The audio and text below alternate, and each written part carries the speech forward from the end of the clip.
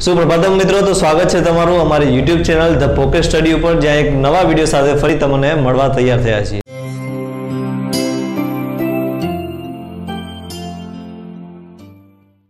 તો મિત્રો, આશા રાખીએ છીએ કે તમે આ વીડિયો જોતા પહેલા આ ચેનલને સબસ્ક્રાઇબ કરી દીધી હશે, જેથી નવા વીડિયો પણ તમને મળી જશે. અને આજે આપણે ધોરણ નવના આપણી આસપાસમાં દ્રવ્ય, એટલે કે ચેપ્ટર પહેલાની વાત કરવાની છે. અને આ આપણી આસપાસમાં દ્રવ્ય વિશે વાત કરવા જઈએ તો એના પહેલા થોડી દ્રવ્ય વિશે પણ વાત કરવાની છે કે દ્રવ્ય એટલે શું થાય? સામાન્ય રીતે આપણે વૈજ્ઞાનિક ભાષામાં દ્રવ્ય, તો આપણી ભાષામાં એટલે કે તળપદી ભાષામાં દ્રવ્ય એટલે શું? તો કે કોઈ પણ વસ્તુ છે, વસ્તુ એટલે કે દ્રવ્ય, જે પણ લાકડું છે, લોખંડ છે કે કોઈ પણ વસ્તુ, એ વસ્તુ એટલે દ્રવ્ય.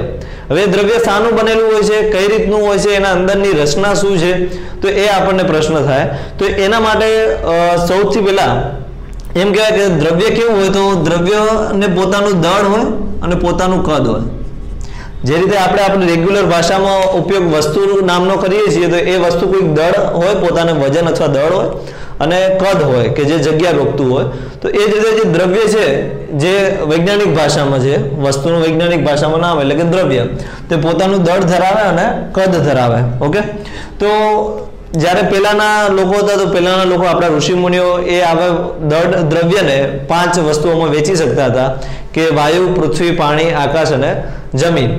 અને એ જ રીતે એના પછી ધીમે ધીમે ઇવોલ્યુશન રીતે આવીને આપણા વૈજ્ઞાનિકોએ એ વસ્તુને બે રીતે વેચી. એક તો એમ કહેવાય કે એ ભૌતિક રીતે પણ વેચી અને બીજું રાસાયણિક રીતે પણ વેચી. અને એના સિવાય પણ થોડી વાત કરવા જઈએ કે બે પ્રકારની વિચારધારાઓ રજૂ કરવામાં આવી. તો પેલી વિચારધારા એવી હતી કે લાકડાની જેમ સતત ગોઠવાયેલા હોય છે. લાકડાની જેમ સતત. અને બીજી વિચારધારા એવી હતી કે રેતીની જેમ કણયુક્ત હોય છે. હવે આ લાકડાની જેમ સતત એટલે કઈ રીતે? તો જેમ લાકડાની અંદર સતત આ લાઈન ટાઈપ જોવા મળે, તો કે દ્રવ્યની અંદર આ પ્રકારે અણુઓની રચના જોવા મળતી હોય છે. અને રેતીની જેમ કણયુક્ત એટલે કઈ રીતે? તો આ રીતે નાના નાના કણો જેમ રેતીમાં હોય છે, એકબીજાથી ગોઠવાયેલા, તો એમ આ કણયુક્ત રચના જોવા મળે. એટલે એના પછી ધીમે ધીમે ખ્યાલ આવ્યો, એ થિયરી સમજાઈ લોકોને. અને એના પછી ખ્યાલ આવ્યો કે કઈ રીતે તો આ કણોયુક્ત જેમ જ ગોઠવાયેલી જોવા મળે. બરોબર? મૂળ આપણે જાણીએ છીએ, આપણે છેક છઠ્ઠા, સાતમા અને આઠમા ધોરણમાં પણ જાણતા આવ્યા છીએ કે દ્રવ્યની ત્રણ મૂળભૂત અવસ્થાઓ કઈ? તો કે ઘન, પ્રવાહી અને વાયુ. ઘન, પ્રવાહી અને વાયુ. ઓકે? પણ એના સિવાય બીજી બે અવસ્થા એટલે કે પ્લાઝમા અને બોઝ આઇન્સ્ટાઈન આઇન્સ્ટાઈન સમઘટક. ઓકે? તો અત્યારે આપણે સિલેબસમાં કઈ છે? તો આ ત્રણ અવસ્થાઓ વિશે વાત કરવાની છે. તો આ ફક્ત આપણે જાણકારી પૂરતું જ યાદ રાખીશું. બાકી પરીક્ષા લગતું નથી. તો ઘન, પ્રવાહી, વાયુ જે ત્રણ અવસ્થાઓ છે મેઇન અને એ દ્રવ્યની વ્યવસ્થાઓ કઈ રીતે? તો આ રીતે અણુ પ્રકારે જોવા મળે. હવે એક સામાન્ય વાત કરવા જઈએ કે આપણે અણુઓની ગોઠવણી કઈ રીતે હોય છે? તો જેમ પાણી હોય છે બીકરમાં, એક બીકરમાં આપણે પાણી લઈએ છીએ. આ બીકરમાં પાણી છે અને એની અંદર આપણે મીઠાના કણો, એટલે મીઠું ઓગાડીએ છીએ. તો આ મીઠું આપણે અંદર ઓગાડીએ તો અંદર કેવી રચના જોવા મળશે? તો આ રીતે પાણીના અણુઓ ગોઠવાયેલા હશે. એકબીજાથી. પરંતુ વચ્ચે વચ્ચે જે જગ્યા વચ્ચે ત્યાં મીઠાના અણુઓ, નાના નાના અણુઓ અહીંયા જગ્યામાં મીઠાના નાના અણુઓ ગોઠવાઈ જશે. ઓકે? તો આ મીઠાના અણુઓ છે. મીઠાના અણુઓ. અને જે મોટા છે એ પાણીના અણુઓ છે. તો આ પ્રકારે અણુઓની ગોઠવણી જોવા મળે. એટલે જ્યારે પણ કોઈ મિશ્રણ બને છે ત્યારે આ પ્રકારે અણુઓની ગોઠવણી જોવા મળે. બીજો પ્રશ્ન એ પણ થાય કે અણુ નાનામાં નાનો અણુનું માપ કેટલું? અણુની સાઇઝ કેટલી? તો આપણે તો જાણીએ છીએ કે અણુની સાઇઝ કેટલી, તો એને નેનોમીટરમાં માપી શકાય આપણે. પરંતુ એને પ્રવૃત્તિ વડે દર્શાવી હોય, તો સરસ એવી બુક જોડે લઈને બેસજો પાઠ્યપુસ્તક, કે એની અંદર સરસ એવી પ્રવૃત્તિ આપી છે પોટેશિયમ પરમેગ્નેટની એટલે કે એમ એનો ફોર કે એમ એનો ફોરને એક પાત્રમાં લેવાનું છે. ઓકે? આ સો એમએલનું પાત્ર છે. કેટલા એમએલનું સો એમએલનું પાત્ર છે, એના અંદર કેમેરો ફોર પોટેશિયમ પરમેગ્નેટને ભરવાનું છે.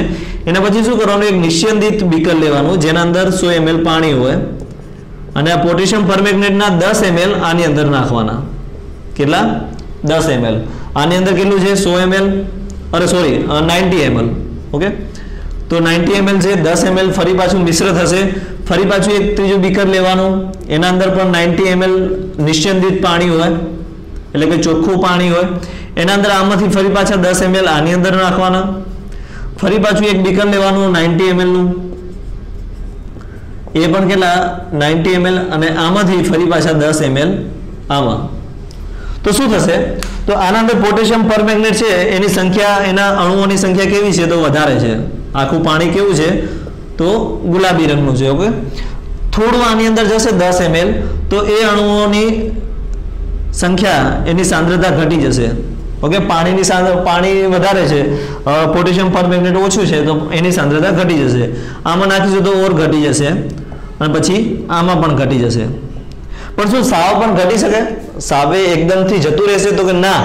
થોડા વધતા પ્રમાણમાં એ જોવા મળશે. એ જ રીતે આપણે ડેટોલનું પણ ઉદાહરણ લઈ શકીએ. ડેટોલમાંથી જે સુગંધ આવે છે, તેને પાણીની અંદર નાખીએ ટુ એમએલ અને આ રીતે ટ્રાન્સફર કરતા રહીએ એકબીજામાં. અને છેલ્લે સુધી ડેટોલની સુગંધ તો રહેશે જ. છેલ્લા જે પાત્રમાં મળશે, ત્યાં ડેટોલની સુગંધ તો રહેશે જ. કેમ? તો કે ત્યાં હજી ડેટોલના અણુઓ અંદર હજી જોવા મળે છે. ક્યાંક ને ક્યાંક જોવા મળે છે. એ જ રીતે આમાં પોટેશિયમ પરમેગ્નેટ છે, તો એને પણ ટ્રાન્સફર કરવામાં આવે છે. તો છતાં પણ આનો ગુલાબી રંગ જોવા મળે છે. બરોબર? એકદમથી સફેદ પાણી થઈ જતું નથી.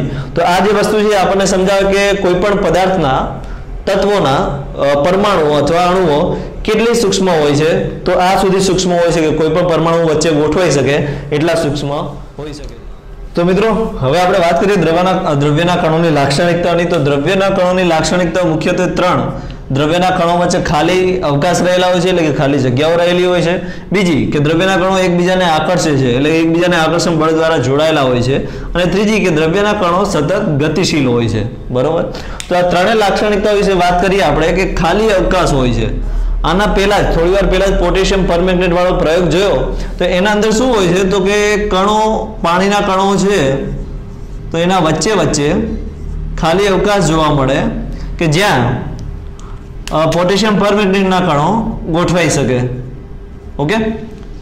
જ્યારે આ મિશ્ર થાય છે વસ્તુ, તો ત્યારે આ વચ્ચે અવકાશમાં ગોઠવાઈ શકે. તો આ ખાલી અવકાશ ધરાવે છે. બીજી વસ્તુ કે દ્રવ્યના કણો એકબીજાને આકર્ષે છે. એટલે કે એકબીજાને આકર્ષણ બળ દ્વારા જોડાયેલા હોય છે.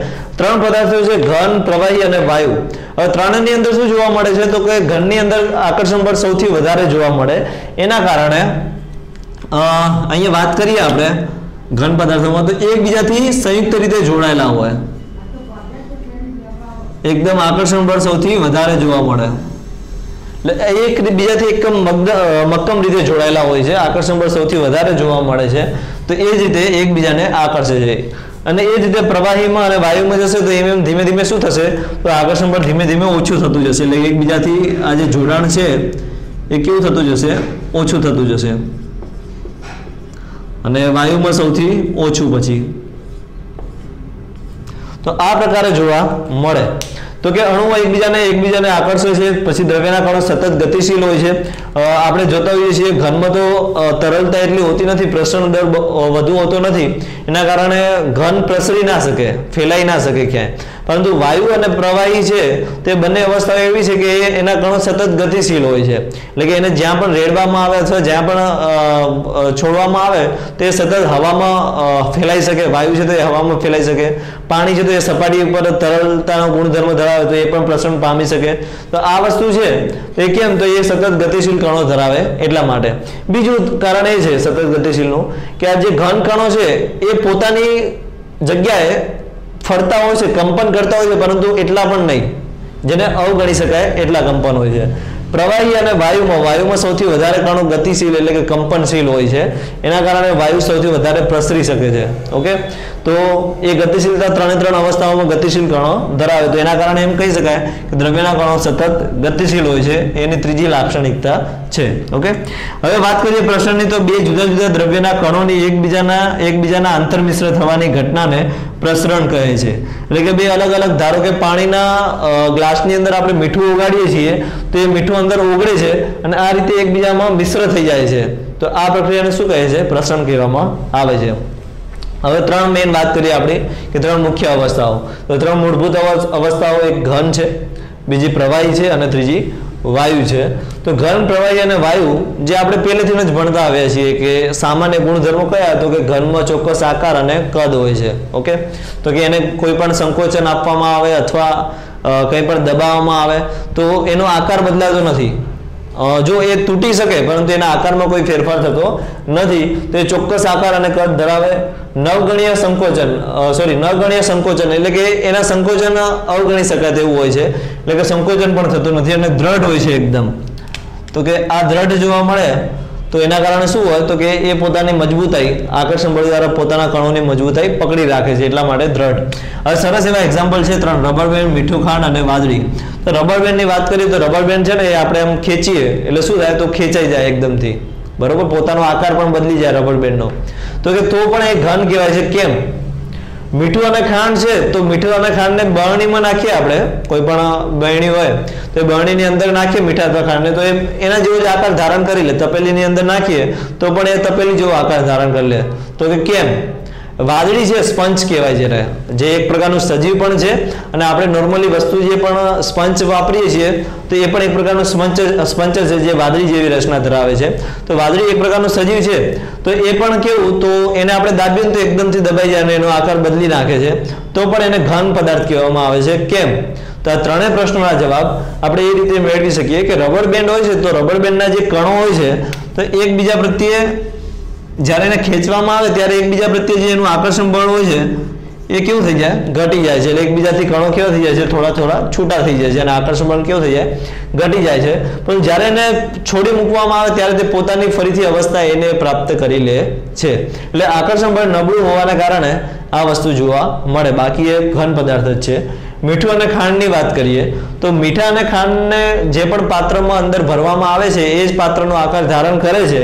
તો હા, એનો ક્વોન્ટિટીનો આકાર બદલાતો હશે, પરંતુ એના સ્ફટિકોનો આકાર નહીં બદલાતો કારણ કે મીઠું અને ખાંડ છે તો એના અંદર સ્ફટિકો આવેલા હોય છે આ ટાઈપ જે એકબીજાથી જોડાયેલા જોવા મળે. અને આ સ્ફટિકાના આકારમાં કોઈ પણ પ્રકારનો ચેન્જ થતો નથી. એના કારણે આને પણ આપણે ઘન પદાર્થ જ કહીશું. અને છેલ્લે વાદળી. તો વાદળી જે સજીવ છે, તો વાદળીની અંદર શું હોય છે? તો એનું શરીર હોય છે ને અંદર હવા ભરેલી હોય છે અને ઘણા બધા છિદ્રો હોય છે. જ્યારે એને આપણે દાબીએ છીએ ત્યારે એની હવા બહાર નીકળે છે અને પોતે પોતાનો આકાર બદલે છે. બાકી એની જે પણ રચના છે, અણુઓની રચના છે, એમાં કોઈ પણ પ્રકારનો ફેરફાર જોવા મળતો નથી. ફક્ત એ હવા જ બહાર નીકળે છે. એના કારણે દબાઈ જાય છે. બાકી આ પણ કેવો છે? તો ઘન પદાર્થ જ છે. ઓકે? તો આવા ઘન પદાર્થના ઘણા બધા પણ ઉદાહરણ છે. લોખંડ છે, લાકડું છે. આપણી આજુબાજુ ઘણા બધા ઉદાહરણ જોવા મળે. તો આપણે એક લિસ્ટ બનાવીશું ઘન પદાર્થનું. એના પછી પ્રવાહી પદાર્થ. તો પ્રવાહી પદાર્થને નિશ્ચિત કદ હોય છે, પરંતુ આકાર નહીં. નિશ્ચિત કદ એટલે શું? તો કે એ જે પણ પાત્રમાં ભરવામાં આવે તો તપેલીમાં છે તો એક લીટર જ છે. અને એ તપેલીમાંથી એક ગ્લાસમાં ભરવામાં આવે. તો પણ એક લીટર જ રહેશે. એનો આકાર બદલાઈ જશે, પરંતુ એનું કદ કેવું હશે? એક લીટર જ રહેશે. એમાં કોઈ પણ પ્રકારનો ફેરફાર થશે નહીં. તો એ પોતે વહનશીલતા ધરાવે છે અને તરલતા પણ ધરાવે છે. પોતાના કણો તરલ રીતે પ્રસરી શકે છે. પ્રસરણ દર પણ જોવા મળે છે વધુ અને વહનશીલ છે. એટલે કે જેને જે પણ રેડવામાં આવે તો એ પોતાની એક દિશા પકડીને વહન કરતું થઈ જાય છે. એના કારણે વહનશીલતાનો પણ સારો એવો ગુણધર્મ ધરાવે છે. એના એક્ઝામ્પલ જોવા જઈએ તો એ પણ ઘણા બધા છે. પાણી છે, દૂધ છે, મધ છે, તેલ છે, આ બધા જ પ્રવાહી પદાર્થો છે, ઓકે? બીજી એક વસ્તુ એ પણ જોવાની આપણે કે એના કણો, જેમ ઘરમાં એકબીજાની નજીક કણો ગોઠવાયેલા હોય છે, તો એ જ રીતે આની અંદર થોડા થોડા છૂટા ગોઠવાયેલા હોય છે. એટલે ઘરની વચ્ચે જે બે કણો વચ્ચે આકર્ષણ બળ વધુ જોવા મળે છે, તો આમાં એના કરતાં આકર્ષણ બળ કેવું હશે? થોડું ઓછું જોવા મળશે.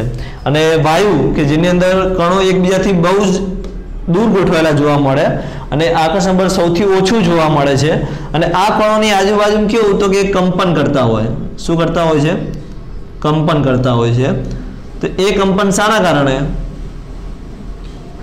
તો જ્યારે વાયુ પદાર્થ છે તો એ પોતાનું પ્રસરણ દર સૌથી વધુ ધરાવે અને પ્રસરવાને કારણે પોતે સૌથી વધુ ગતિશીલ હોય છે. એના કારણે એ કંપન ધરાવે. એના લાક્ષણિકતાઓ જોઈએ તો આકાર અને કદ અનિશ્ચિત. એટલે કે કદ પણ નિશ્ચિત હોતું નથી અને આકાર પણ નિશ્ચિત હોતું નથી. સૌથી વધુ તરલતા ધરાવે છે. સંકોચનશીલતા સૌથી વધુ હોય છે. આપણા ઘરમાં એલપીજી ગેસ, રાંધણ ગેસ તરીકે વપરાય. એલપીજી એટલે કે liquefied petroleum gas. Petroleum gas. બરોબર? તો એલપીજી અને સીએનજી જે કમ્પ્રેસ્ડ નેચરલ ગેસ કહેવામાં આવે કમ્પ્રેસ્ડ નેચરલ ગેસ તો આ બંનેના નામ યાદ રાખજો MCQ માં પૂછાઈ શકે. એલપીજી તો કે પ્રવાહીકૃત પેટ્રોલિયમ વાયુ અને સીએનજી સંકોચિત કુદરતી વાયુ. તો આ બંનેના નામ યાદ રાખવા જરૂરી છે. અને આ વાયુઓ કેવા છે? તો સંકોચનશીલતાનો ગુણધર્મ ધરાવે છે. જ્યારે આપણે રાંધણ ગેસ હોય છે, તો એના બાટલામાં આપણે જોઈશું તો એને ખખડાવશું, તો એની અંદર પ્રવાહી જેવો અવાજ આવશે. કેમ? તો એના અંદર એલપીજી વાયુને સંકોચીને વધુ પડતા દબાણ આપીને એના અંદર ભરવામાં આવે. અને જ્યારે એ છૂટે છે, તો ત્યારે એ ધીમા ધીમા વાયુ સ્વરૂપે જ છૂટે છે. એટલે એ છે વાયુ, પરંતુ એના ઉપર જ્યારે દબાણ આપવામાં આવે, ત્યારે એ પ્રવાહીમાં ફેરવાઈ જાય છે. એટલે કે દબાણ આપવામાં આવે તો આ કણો એકબીજાથી નજીક જશે. નજીક જશે એટલે કેવી રચના બનાવશે? તો કે પ્રવાહીની રચના બનાવશે. તો સીએનજી અને એલપીજી એ બંને એના ઉદાહરણ છે. અને વધુ પ્રસરણનો પણ ગુણધર્મ ધરાવે છે. તો આ જ રીતે વાયુમાં છે તો વધુ પ્રસરણ, વધુ સંકોચનશીલતા વધુ તરલતા જોવા મળે, સૌથી ઓછું આકર્ષણ બળ જોવા મળે અને આકાર અને કદ અનિશ્ચિત. તો મિત્રો હવે વાત કરીએ કે કોઈ પણ દ્રવ્યની અવસ્થા પોતે ફેરફાર કરી શકે, એટલે કે કોઈ પણ ઘન પદાર્થ છે તો એ પ્રવાહીમાં ફેરવાઈ શકે અથવા તો પ્રવાહી છે તો એ વાયુમાં પણ ફેરવાઈ શકે. તો હા, કોઈ પણ દ્રવ્ય પોતાની અવસ્થામાં ફેરફાર કરી શકે. કઈ રીતે? તો બે રીતે કરી શકે. એક તો તાપમાનમાં ફેરફાર અને દબાણમાં ફેરફાર. તાપમાન એટલે કે કોઈ પણ પદાર્થને ઉષ્મા આપવામાં આવતી હોય ત્યારે એને તાપમાન કહેવામાં આવે અને એ તાપમાનમાં ફેરફાર કરવામાં આવે અથવા તો એની આજુબાજુ જે પણ માધ્યમ છે, એના તાપમાનમાં ફેરફાર કરવામાં આવે તો ત્યારે પણ એની અવસ્થા ચેન્જ થઈ શકે અને દબાણમાં ફેરફાર. તો કે એને સંકોચીને એક દબાણ આપીએ ત્યારે પણ એનામાં અવસ્થામાં ફેરફાર થઈ શકે. બંનેના એક સિમ્પલ ઉદાહરણ આપું કે એક બરફ છે, બરફને આપણે નોર્મલ ટેમ્પરેચરમાં મૂકીએ છીએ આપણે ઘરના. તો શું થશે? ધીમે ધીમે પાણીમાં રૂપાંતર પામવા માંડશે તો એ એના તાપમાનમાં ફેરફાર થયો કે ફ્રીજમાં તાપમાન અલગ હતું, ઝીરો ડિગ્રી સેલ્સિયસ અને એ જ રીતે બહારનું જે તાપમાન છે એ પચીસ ડિગ્રી સેલ્સિયસ છે. તો એ તાપમાનમાં આટલો ડિફરન્સ થયો, એના કારણે એની અવસ્થા ધીમે ધીમે શું થઈ? તો બદલાઈ ગઈ. દબાણમાં ફેરફાર તો એનું સરળ એવું એક્ઝામ્પલ છે કે આપણે રાંધણ ગેસ અથવા જે સીએનજી ગેસ ભરવામાં આવે છે, તે લિક્વિડ ફોર્મમાં થઈ જાય છે. કેમ? તે ઊંચા પ્રેશર હેઠળ એ ભરવામાં આવે છે. તો ઊંચા દબાણથી ભરવામાં આવે એટલે કે એ ગેસમાંથી લિક્વિડમાં ફેરવાઈ જાય છે. હવે વાત કરીએ કે કોઈ પણ પદાર્થ હોય, આ તાપમાનમાં ફેરફારને આપણે સરળ એવી પ્રવૃત્તિ વડે જોવી હોય, તો એ તાપમાનના ફેરફારની પ્રવૃત્તિ પેન કઈ ગયા ને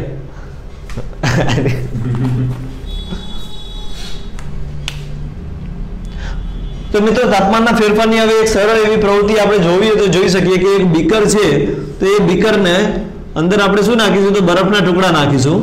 હવે આ બરફના ટુકડા ને નીચેથી શું આપીશું આપણે? થોડી ઉષ્મા આપીશું. બનસન બર્નર વડે. આ બર્નર વડે ઉષ્મા આપીશું. આ બીકરની અંદર બરફના ટુકડા નાખીશું. અને એની અંદર શરૂઆતમાં શું નાખીશું તો એક થર્મોમીટર.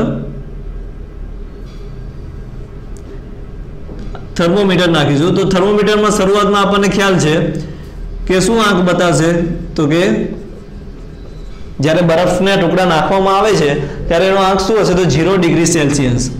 હવે આ સેલ્સિયસ શું છે એ પણ મનમાં પ્રશ્ન થાય કે સેલ્સિયસ એટલે શું? તો કે તાપમાનનો એસઆઈ એકમ છે સેલ્સિયસ અથવા કેલ્વિન પણ કહેવામાં આવે છે.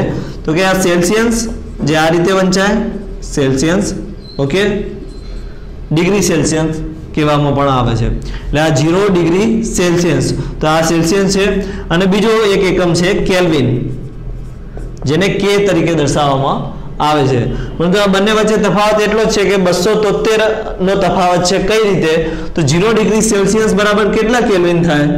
કેટલા કેલ્વિન થાય? તો એ આપણે ગણવું હોય. તો ઝીરો ડિગ્રી સેલ્સિયસ બરાબર બસો તોતેર પોઈન્ટ સોળ કેલ્વિન થાય. પરંતુ આપણી ગણતરી ઈઝી બને, એના માટે આપણે પોઈન્ટ સોળ કેલ્વિન લેતા નથી, પરંતુ બસો તોતેર કેલ્વિન ફક્ત લઈએ છીએ. તો ઝીરો ડિગ્રી સેલ્સિયસ બરાબર બસો તોતેર કેલ્વિન. આ જ રીતે જો કોઈ પણ તાપમાન આપેલું હોય ડિગ્રી સેલ્સિયસની અંદર, અને એને આપણે કેલ્વિનમાં ફેરવવું છે, તો બસો તોતેર એડ કરી દઈશું. ધારો કે ચાલીસ ડિગ્રી સેલ્સિયસ છે, તો એના અંદર આપણે ચાલીસ વત્તા બસો તોતેર કેલ્વિન. તે કેલ્વિનમાં ફેરવાઈ જશે. બરોબર? તો ત્રણસો તેર કેલ્વિન જવાબ થાય. તો આ રીતે પણ એમસીક્યુ પૂછાય છે. ડિગ્રી સેલ્સિયસમાં આપેલું હોય અને આપણને કેલ્વિનમાં ફેરવવાનું હોય. એનાથી પણ ઉલટું આપણે કરીએ કે કેલ્વિનમાં આપેલા હોય કે ત્રણસો તેર કેલ્વિન છે, તો એના કેટલા ડિગ્રી સેલ્સિયસ? તો આપણે ત્રણસો તોતેરમાંથી માઇનસ બસો સોરી, માઇનસ બસો તોતેર કરશું. ત્રણસો તેરમાંથી માઇનસ બસો તોતેર તો ડિગ્રી સેલ્સિયસમાં ફેરવાઈ જશે. તો એ ચાલીસ ડિગ્રી સેલ્સિયસ જવાબ આવે. તો આ રીતે પણ ખાસ યાદ રાખજો. તો એ જ રીતે બરફનું જે ગલન બિંદુ કહેવામાં આવે તો બરફ, જે તાપમાન બરફે ધીમે ધીમે પાણીમાં રૂપાંતર પામવા જાય, તો ઝીરો ડિગ્રીથી વધારે તાપમાન જેવું થશે એક ડિગ્રી તે ધીમે ધીમે એના કણો શું થશે? તો પ્રવાહીમાં રૂપાંતર પામવા માંડશે અથવા પાણીમાં રૂપાંતર પામશે. તો ઝીરો ડિગ્રી એનું ગલન બિંદુ કહેવામાં આવે છે. હવે ધારો કે આ થર્મોમીટર છે, એમાં એનું માપ કેટલું છે? ઝીરો ડિગ્રી સેલ્સિયસ હવે બીજી પરિસ્થિતિ શું થાય છે? તો બીજી પરિસ્થિતિની અંદર જોવા જઈએ આપણે. તો આ બર્નર છે, એને આપણે નીચેથી ઉષ્મા આપીએ છીએ બીકરને. ત્યારે ધીમે ધીમે આ શેમાં રૂપાંતર પામવા મળશે પાણીમાં. તો બરફનું પાણી બની ગયું અને એની અંદર આપણે થર્મોમીટર છે. તો એ થર્મોમીટરમાં હવે કેટલો આંક બતાવશે? તો ઝીરો ડિગ્રી સેલ્સિયસ કરતા ઉપરનો આંક. પરંતુ જે આ બરફના કણો છે, એનું સંપૂર્ણપણે પાણીમાં રૂપાંતર ના પામી જાય, તો ત્યારનું તાપમાન આપણે નોંધવાનું છે. તો ધારો કે એક ગ્રામ પાણી લઈએ છીએ, આપણે એક જ ગ્રામ પાણી લઈએ છીએ સોરી એક ગ્રામ બરફ જ લઈએ છીએ, તો એની અંદર ધારો કે દસ પરમાણુ આવેલા છે. ઓકે, આ દસ પરમાણુ આપણી કલ્પના ખાતર. તો આપણે કલ્પના કરીએ છીએ કે આની અંદર દસ પરમાણુ ફક્ત આવેલા છે, બરફના દસ અણુઓ છે સોરી તો એમાં પેલો અણુ પાણીમાં રૂપાંતર પામે, બરાબર? એકબીજાથી જોડાયેલા છે. પેલો અણુ પાણીમાં રૂપાંતર પામે છે. જ્યારે ઝીરો ડિગ્રી કરતાં વધારે તાપમાન થશે, ત્યારે ઝીરો ડિગ્રી કરતાં એક ડિગ્રી થશે, ત્યારે એટલું થશે. તો પછી બીજો અણુ, ત્રીજો, ચોથો, પાંચમો, આ છઠ્ઠો, સાતમો, આ રીતે બધા જ અણુઓ ધીમે ધીમે વારાફરતી પાણીના અણુઓમાં રૂપાંતરિત થતા જશે અને જ્યારે બધા અણુઓ પાણીમાં રૂપાંતરિત થઈ જાય, અને ત્યારે એ સંપૂર્ણપણે પાણીમાં ફેરવાઈ જાય, ત્યારે એનાથી ઊંચું, એટલે કે એક ડિગ્રી સેલ્સિયસથી વધારે પાણી એક ડિગ્રી સેલ્સિયસથી વધારે તાપમાન થતું જોવા મળશે. અને પછી ધીમે ધીમે શું થશે? તો તાપમાન એકદમથી વધશે અને સો ડિગ્રી સેલ્સિયસ જેટલું જ્યારે તાપમાન થશે નીચેથી ગરમ તાપમાન. તો આ સો ડિગ્રી સેલ્સિયસ તાપમાને આ પાણીના અણુઓ જે આમ છૂટા છૂટા ગોઠવેલા હશે આ ધારો કે દસ અણુ એના એ જ છે આપણે, પણ આ કેવા છે? આ બરફના હતા તો આ પાણીના. તો એ પાણીનો પેલો અણુ ધીમે ધીમે વરા- વરાળમાં ફેરવાશે. બીજો અણુ વરાળમાં ત્રીજો, ચોથો, પાંચમો, છઠ્ઠો, સાતમો, આઠમો, નવમો, દસમો, કુલ દસ અણુઓ ધીમે ધીમે ફેરવાશે અને સંપૂર્ણપણે વરાળમાં ફેરવાઈ જશે. આ ધીમે ધીમે વરાળમાં ફેરવાઈ જશે. ક્યારે? જ્યારે સો ડિગ્રી સેલ્સિયસ કરતાં તાપમાન વધુ થશે ત્યારે. તો આખો પ્રયોગ છે એના દ્વારા આપણે સમજી શકીએ. તો કે ગલનબિંદુ કોને કોને કહેવામાં આવે?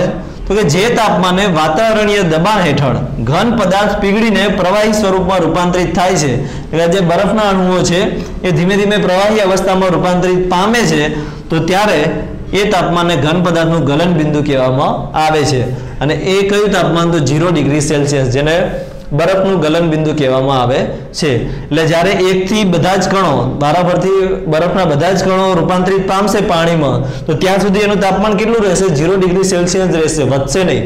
બરોબર? તો એને એનું ગલન બિંદુ કહેવામાં આવે. જ્યારે સંપૂર્ણ રીતે પાણીમાં રૂપાંતર પામી જશે બરફ, તો એના પછી તાપમાન એનું ધીમે ધીમે એકદમથી વધશે. તો કઈ રીતે? તો ગલનગુપ્ત ઉષ્માની પણ વ્યાખ્યા જોઈ લઈએ. કે પદાર્થના ગલન બિંદુ જેટલા તાપમાને, પદાર્થના ગલન બિંદુ જેટલા એટલે કે ધારો કે બરફના ગલન બિંદુ જેટલા, એટલે કે ઝીરો ડિગ્રી સેલ્સિયસ તાપમાને એક વાતાવરણ દબાણે, જે હવાનું સામાન્ય દબાણ છે, એક કિલોગ્રામ, એટલે આપણે ધારો કે એક ગ્રામ લીધું ખાલી બરફ, એની જગ્યાએ એક કિલોગ્રામ, એક આદર્શ પ્રમાણ લઈએ.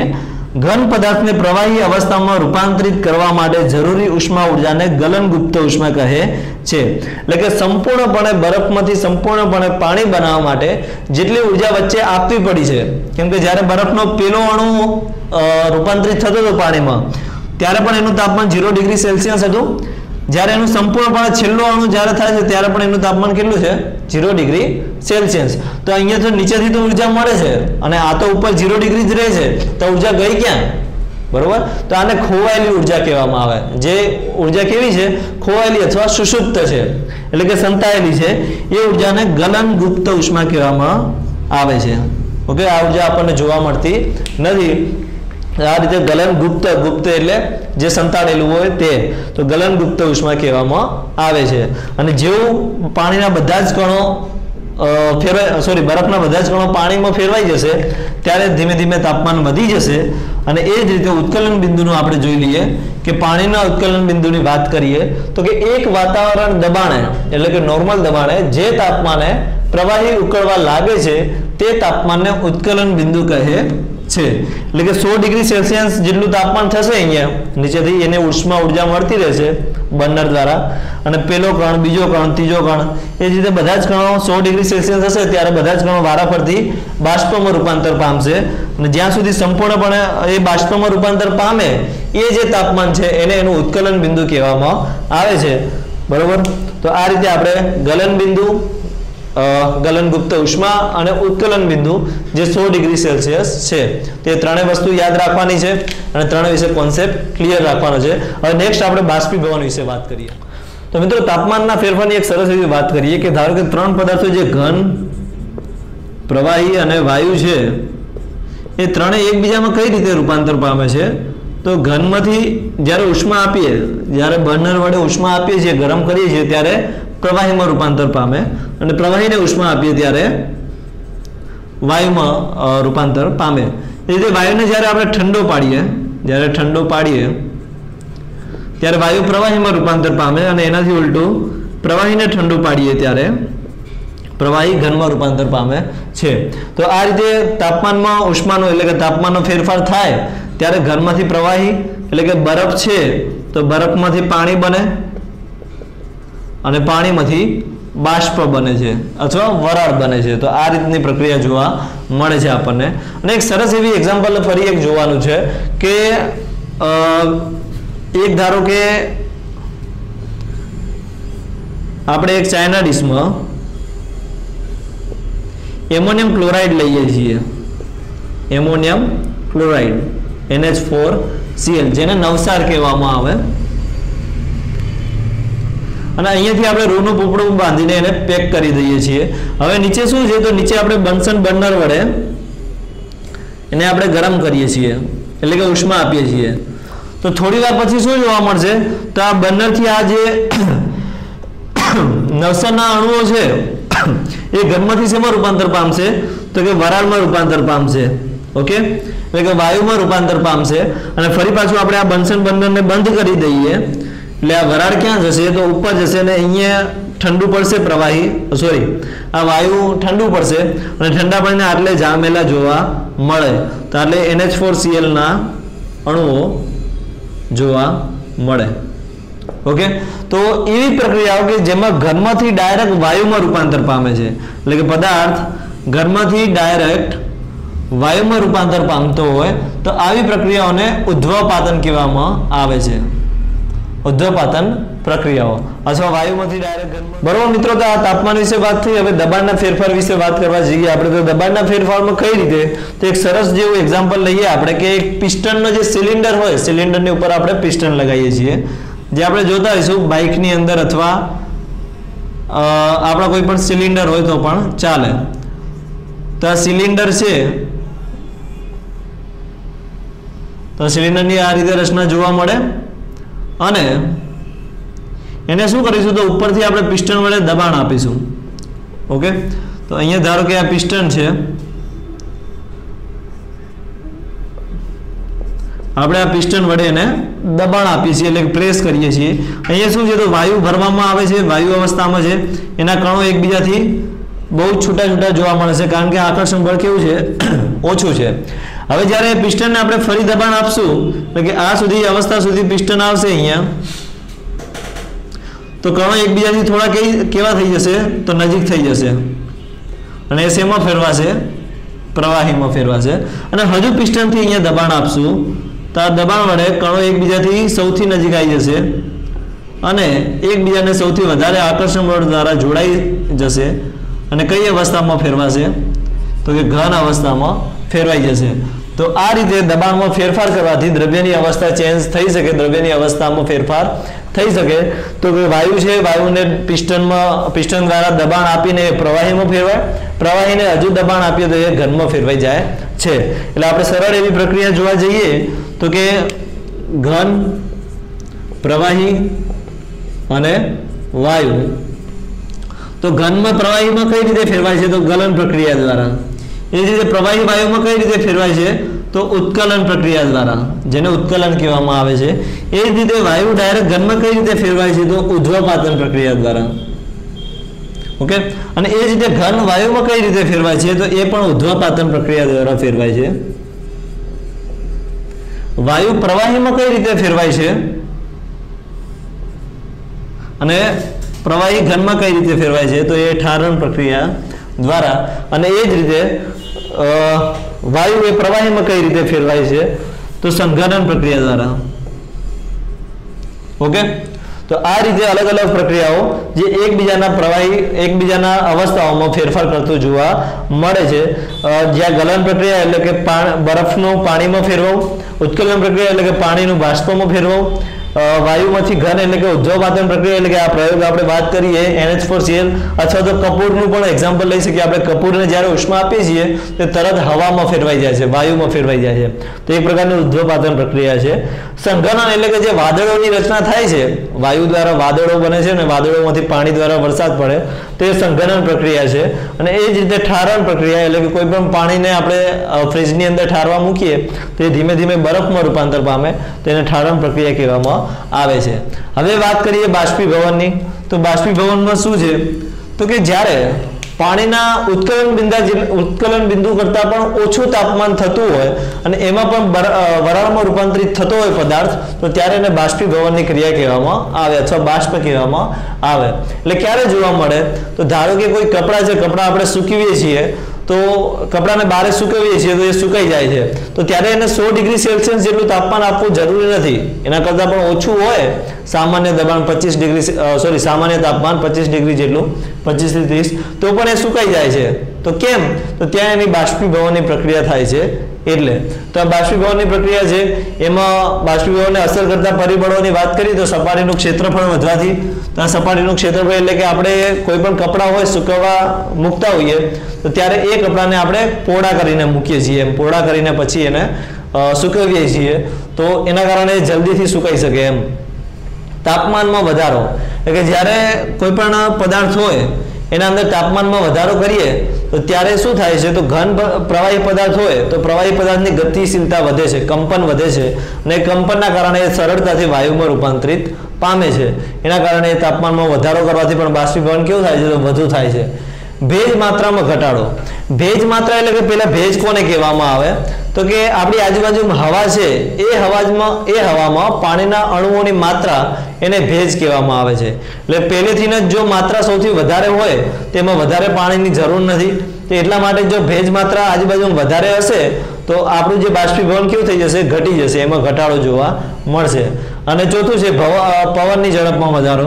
તો પવનની ઝડપમાં આપણે પ્રવૃત્તિ કરી શકીએ. કોઈ વસ્તુ છે જે પ્રવાહી અવસ્થામાં અથવા પ્રવાહી જેવું જોવા મળે. આપણને કપડાં છે તો કપડાં સૂકવ્યા છે. તો જો એને પવન આપશું તો એ સૌથી વધારે સ્પીડમાં સુકાઈ જશે એમ. તો ત્યાં બાષ્પીભવન કેમ થાય? તો બાષ્પીભવન વધી જાય છે એટલા માટે. તો આપણી આજુબાજુ પણ ઘણા બધા કારણો છે જ્યાં બાષ્પીભવન જોવા મળે છે. આપણે એ બધા જ પ્રશ્નોને કલેક્ટ કરીએ કે આ પ્રક્રિયા કેમ આમ થાય છે? અહીંયા શું છે? બાષ્પીભવન જોવા મળે છે કે નહીં? તો આવા ઘણા બધા પ્રશ્નો હશે. તો એ કારણો તમે નીચે કોમેન્ટમાં જણાવો. તો આપણે એના જવાબની જરૂરથી ચર્ચા કરીશું. અને આ આખા ચેપ્ટરમાં તમને ગમે ત્યાં એવું લાગ્યું હોય કે એવું ડાઉટ હોય, તો ફરીથી બેથી ત્રણ વાર વીડિયો જુઓ અને ડાઉટને ક્લિયર કરો. અને જો કંઈ પણ પ્રશ્ન થાય તો એને નીચે કોમેન્ટમાં જણાવજો. તો એ પણ આપણે એના જવાબ જણાવીશું. તો ચલો આવજો. Stay safe stay home